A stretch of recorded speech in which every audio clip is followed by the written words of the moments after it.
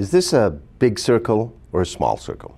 The answer is it depends. You don't know until you compare it to something else, until you give it a meaning. In a similar way, the stuff that happens in your life, is it good or bad? Is it a big event? Is it a small event?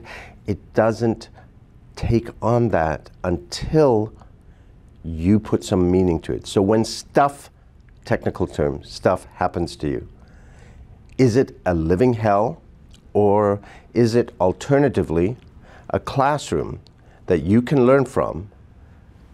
Choice is yours, and the meaning of the event is what you put on it.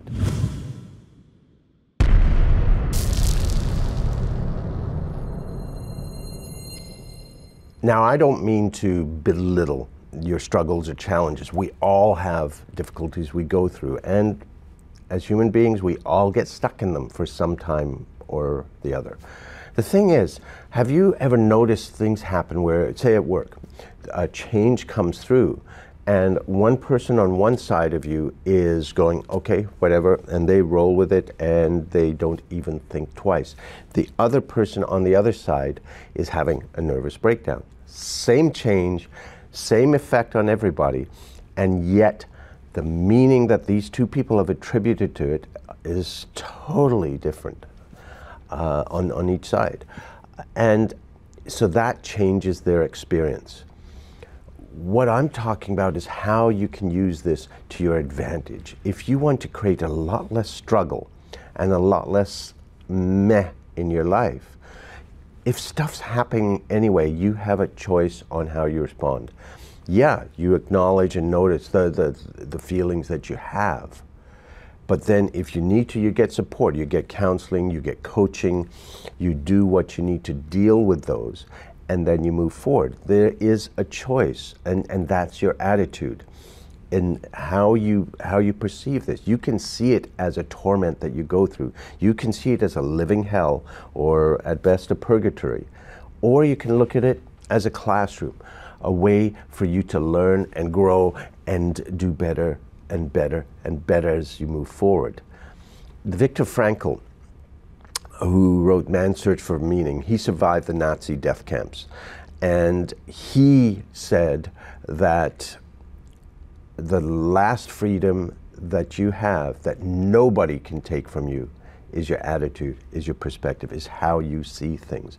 Now, I know we all have difficulties, but if someone can survive the concentration camps and come out with that perspective, I think we can do that with the challenges we have in our life. Yes, this stuff happens if you're overwhelmed, if you've got the, if you've got all sorts of anxiety and feelings and upset, then you get support. You find a way.